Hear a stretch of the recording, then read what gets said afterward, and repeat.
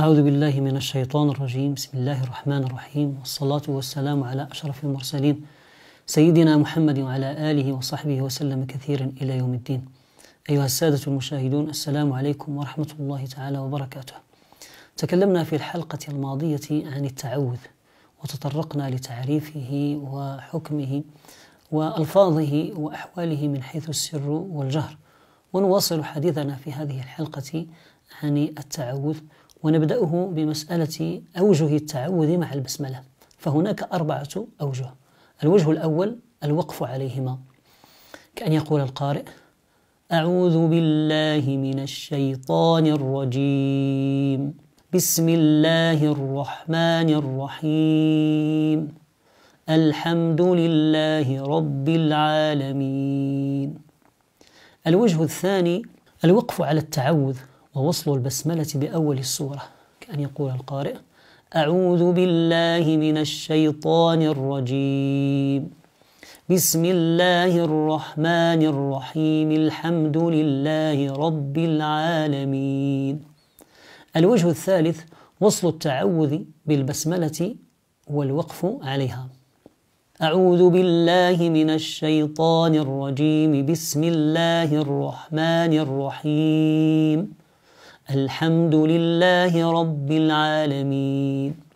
والوجه الرابع والأخير وصل التعوذ بالبسملة ووصل البسملة بأول القراءة.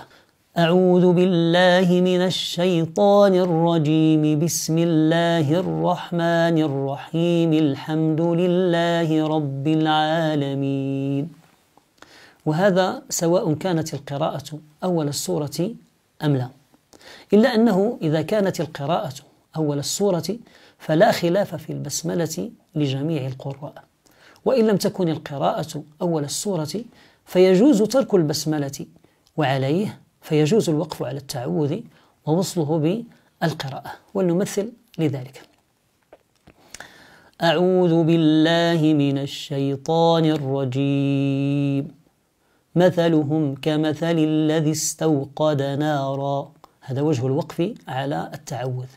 الوجه الثاني وجه الوصل أعوذ بالله من الشيطان الرجيم مثلهم كمثل الذي استوقد نارا.